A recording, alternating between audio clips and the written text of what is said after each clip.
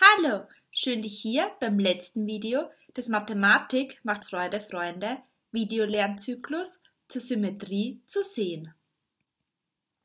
In diesem Video geht es darum, dass du die einzelnen Schritte lernst, wie man Spiegelbilder oder symmetrische Figuren konstruiert.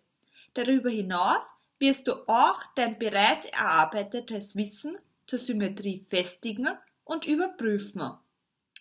Wichtig ist, dass du bereits die wichtigsten Begriffe der Symmetrie gut kannst und dass du selbstständig in der Lage bist, zu entscheiden und zu begründen, wie so eine Figur symmetrisch ist oder nicht. Lass uns eine kleine Aufwärmübung machen und teste darin dein Wissen. Entscheide, welche Buchstaben, Ziffern, Zahlen oder Wörter achsensymmetrisch sind und welche nicht.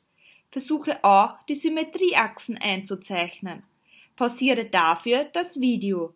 Sieh dir die Buchstaben, Ziffern, Zahlen oder Wörter in Ruhe an und entscheide, welche als symmetrisch bezeichnet werden können und welche nicht. Anschließend werde ich dir die Lösung verraten. E ist ein achsensymmetrischer Buchstabe. Die Symmetrieachse liegt waagrecht durch die Mitte des Buchstabens. Die 8 ist ebenfalls symmetrisch, da sie eine senkrechte Symmetrieachse, die die Ziffer in der Mitte teilt, besitzt. Die Zahl 85 ist keine achsensymmetrische Zahl, da weder eine senkrechte, waagrechte noch schräge Symmetrieachse durch 85 gelegt werden kann. Das Wort Tat ist symmetrisch. Die Symmetrieachse liegt senkrecht durch die Mitte des Buchstabens A. Falls du dir schwer getan hast, deine Entscheidungen zu treffen, schau dir am besten noch einmal das Basic-Video zur Symmetrie an.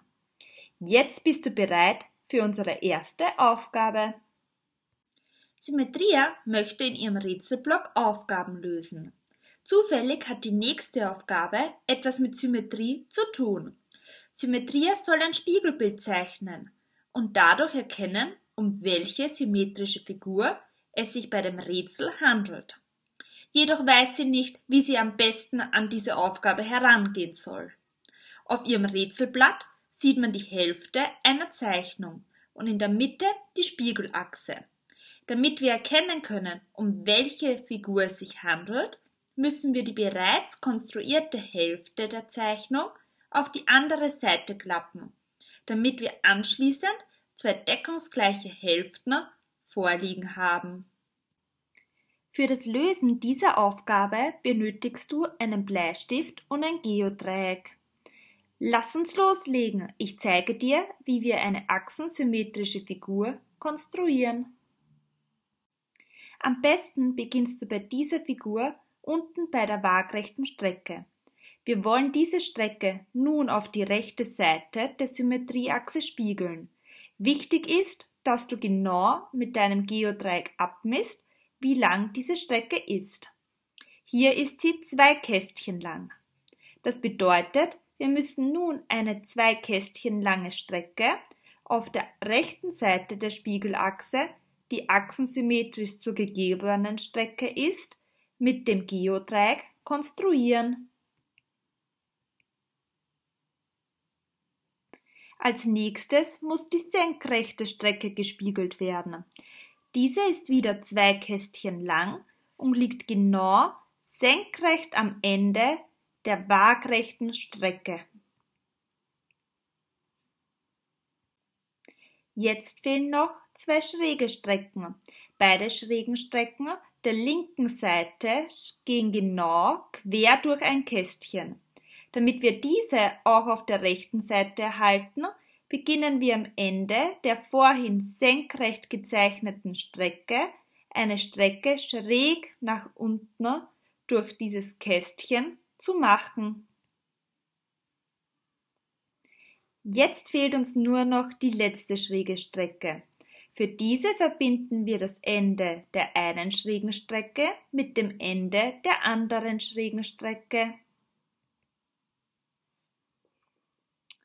Super, wir haben es geschafft. Doch um welche Figur handelt es sich hier? Hast du eine Idee? Ja, genau. Hinter dem Rätsel versteckt sich eine Krone. Ich bin mir sicher, du schaffst es nun auch alleine, Bilder zu spiegeln.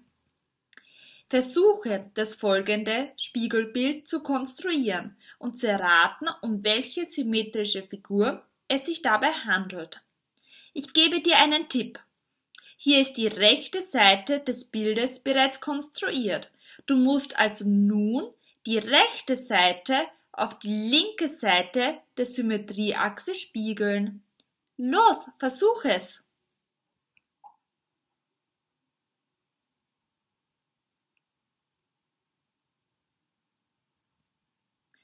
Sieht deine Lösung auch so aus wie meine?